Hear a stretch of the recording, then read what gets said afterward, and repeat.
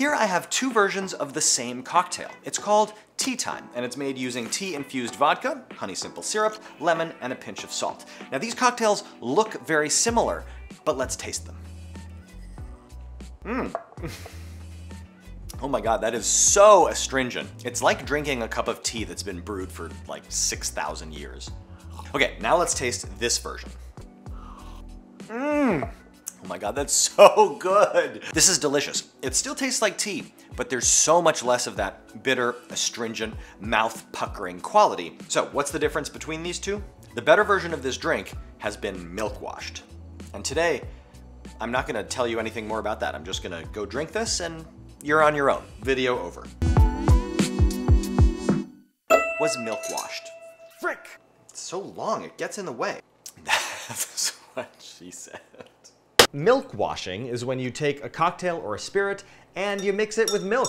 And then you curdle that milk on purpose, which I'm doing here using citric acid. And then you let the curdled milk and the cocktail or spirit kind of meld for a few minutes or hours. And then you separate out the curds using a filter. Or if you're impatient like me, this centrifuge. This whole process leaves you with a clearer, less bitter, rounder tasting drink. Yes! Look. Down here is the curd. This is the clarified drink. Look at the before and after, okay? This is before, and this is after milk washing. Now I can tell you that this is the first time I've ever milk washed anything, and I'm so shocked that it worked. I'm always surprised when things work on this channel, because it's invariably the first time that I ever do it and it worked. There are lots of articles and videos out there already about milk washing, but this video is gonna be completely different because not only am I gonna tell you the science behind milk washing, don't worry, I will, but I am also going to attempt to innovate the technique. That's right, I am gonna contribute something new to the sum total of human knowledge, something new on the Today we're gonna talk about milk washing, a technique that is older than Benjamin Franklin. Hello. And back in the 1700s, it was used both to round out and remove harsh flavors from poorly distilled spirits and to prevent drinks from spoiling. Now, for a technique this old, there is not much science out there on this. In fact, I couldn't find a single peer-reviewed journal article that covers milk washing in the cocktail context. So since I can't show you any research, we're just gonna have to do some.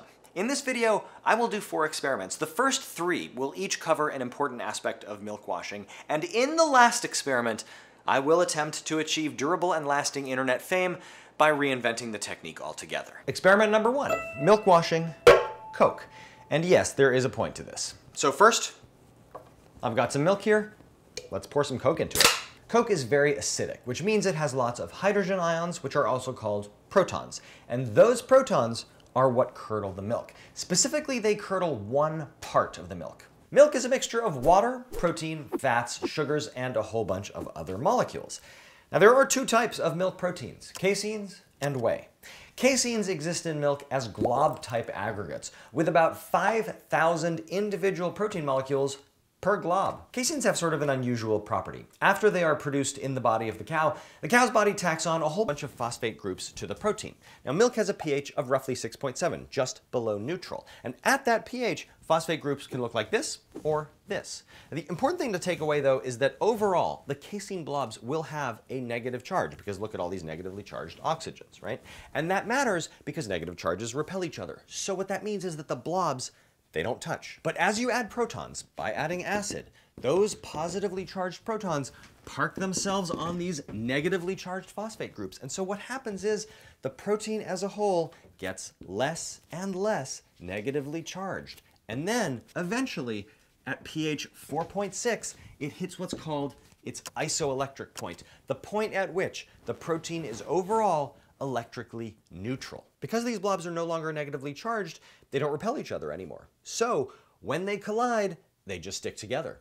So now you've got casein blobs just sticking together all over the place and aggregating into larger and larger particles, and eventually you get curds, these gigantic globs of casein protein that we have precipitated out with an acid, in our case, Coca-Cola. By the way, these curds also contain a lot of the milk fat that was in the milk. So here we've got a two-phase system. We've got our solid, proteinaceous, fatty curd phase, and that is surrounded by a watery liquid phase. Now when you have these two phase systems, small molecules partition themselves between phases.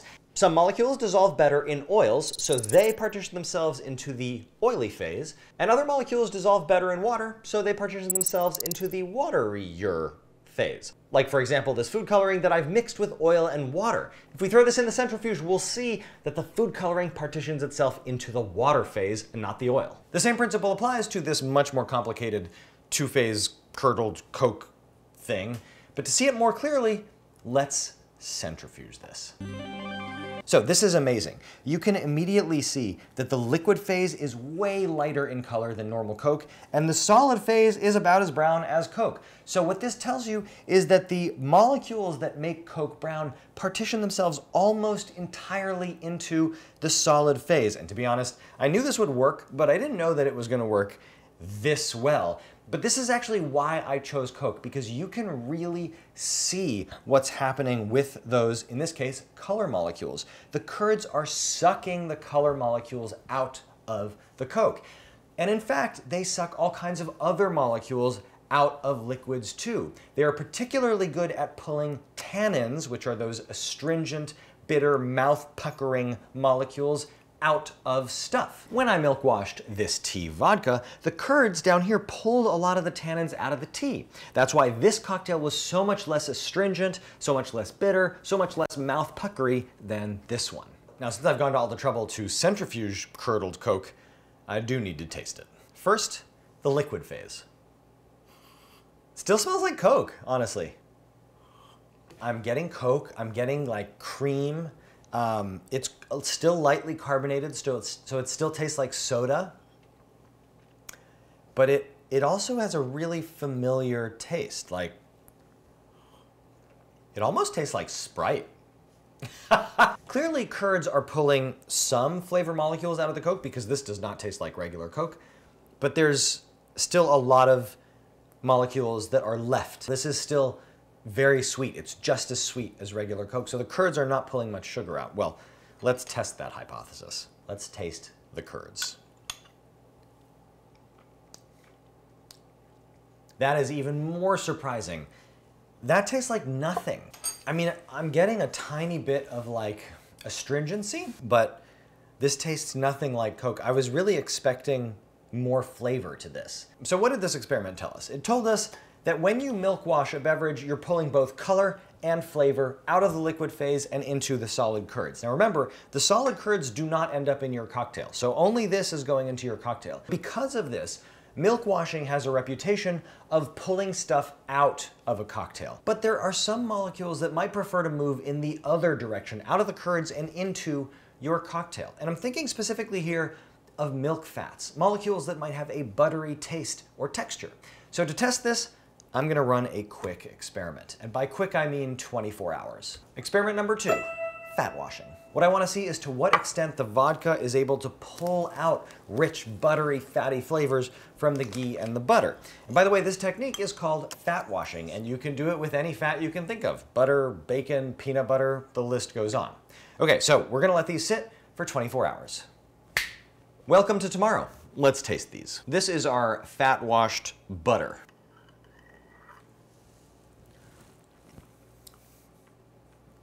Mmm, that is very good. I could drink that straight. And by the way, it is 9.28 in the morning. the flavor comes in waves. So the first hit you get is vodka, and then it's butter, and then it's vodka again, and then it's butter again. And um, it is really good. It's quite subtle, but it's really good. Okay, let's try the ghee. Mmm. it's very similar, but they're not the same. Ghee is clarified butter. It's butter that is mostly fat, let's say 99% fat. Butter has mostly fat, but it also has some water-soluble compounds too, and a tiny little bit of water in there. So there must be some flavor compounds in the butter that are not necessarily present in the ghee. But regardless, I think if you were to mix this into a cocktail, you wouldn't be able to tell the difference. They would both taste buttery, but both are delicious. So what does this experiment tell me? Well, it suggests that not only does milk washing pull flavor and color out of a cocktail, it also adds buttery flavor and texture into a cocktail because some of the flavor molecules in butter partition themselves into your drink. And to see that more clearly, we're gonna curdle some milk. This has curdled, but it's hard to see, so let's centrifuge. Okay, so we've separated out the curdled milk, we've got our curds, and this stuff right here, this is called whey, and it is a lot more complicated than just water. It has vitamins and minerals, lactose, milk sugar, and a group of proteins called whey proteins. And those proteins have a taste and a texture. Let's find out what it is. Fascinating.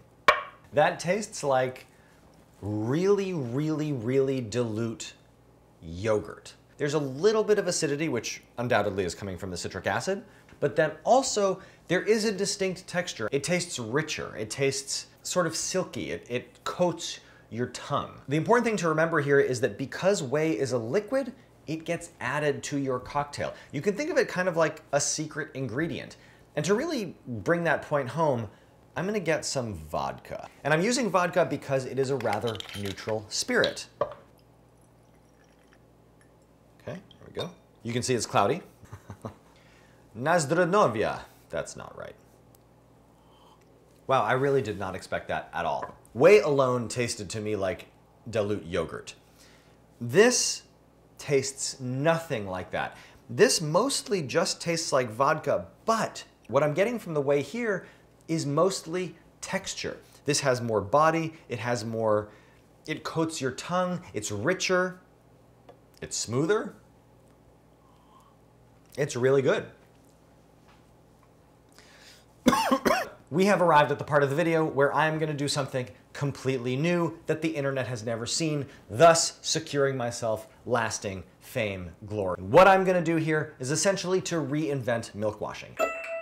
To understand how my reinvention is gonna work, I want you to see milk washing as I have come to see it, which is not as one thing, but as three separate things. Thing one is curd flavor and color extraction, meaning the curds pull stuff out of your cocktail or a spirit or a beverage. Thing two is fat washing. It's the same chemistry, but it happens in the opposite direction. A cocktail or a spirit pulls flavors out of a fat. And thing three is the addition of the secret ingredient, whey. So essentially what I'm doing is I have deconstructed milk washing into its constituent parts. And I'm doing this not to be gratuitously overcomplicated, but because it allows you to fine tune each part individually. And to demonstrate this, I'm gonna attempt to make a peanut butter washed vodka, coffee, milk, curd, incubated espresso martini. So just a very fancy espresso martini that's gonna take me overly long to make. Let's go, let's do it. First thing I'm gonna do is take a healthy chunk of peanut butter and pour some vodka on top. This is fat washing. What I'm hoping to do is extract some of the peanut butter flavor into my vodka. And by the way, the chemical basis of roasted peanut butter flavor is still being debated. But whatever it is, I want as much of it as possible in my vodka. And here I'm curdling some milk to generate curds and whey. The curds I will add to espresso to hopefully dial down some of the coffee's bitter and harsher notes, and the whey I will add near the end to give the cocktail an additional layer of silkiness and body. Here I'm just pouring off the whey to save it for later, and now I am adding the espresso to the curds. Now I should point out here that I'm assuming that adding pre-made curds to coffee will do the same thing, chemically speaking, as curdling milk with the coffee already present. But we're gonna find out very soon if this actually worked. Let's centrifuge these. I am so curious to see whether the curds will be darker, whether they will have pulled out some of the color and maybe flavor compounds from the coffee. The moment of truth. Oh, don't stick your hand in the, into the centrifuge. Yeah, look, there's definitely curds. These are the curds. And as you can see, they have definitely pulled some stuff out of the coffee. I'm gonna pour off the tops of these. So we have our coffee. This is the curd incubated coffee. We have our whey. We have our peanut butter washed vodka. And we have the rest of the standard ingredients for an espresso martini.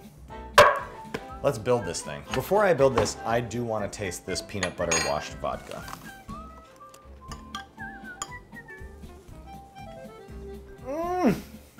God, that's so good. That tastes like peanut butter. It's vodka. That tastes like peanut butter. Chemistry works, man. Okay. So, two ounces of the peanut butter washed vodka, half an ounce of Kahlua, one ounce of espresso, and I'm gonna do half an ounce of whey for body, and quarter ounce of simple syrup. Here we go. Moment of truth. Mm. That is outrageously good. Imagine an espresso martini, but if you dial down the bitterness and up the body, and that's this. Oh, and then there's a subtle, like very, very subtle peanut butter flavor, which just adds depth. But this is delicious. I honestly expected this to be basically indistinguishable from a regular espresso martini. Like I thought there would be no difference in taste. That is substantially better. In fact, that is so much better that I want to make a regular espresso martini and compare them. This is, after all, a science channel. Um, and I have all the ingredients. So let's quickly do that. Hang on. This is a regular espresso martini.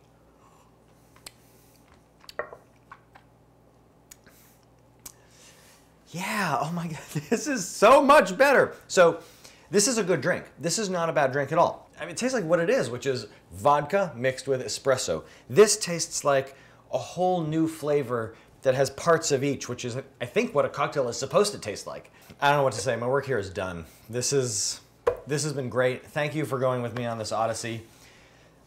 I did not expect to make a cocktail that was better than the existing thing. I thought that the end of this video would just be like, I taste it and I go, wow, that's awful. And then uh, we all move on with our lives. But no, this is good. I am going to be making this again off camera, not even for the internet, just for my own personal consumption. That's how good this is.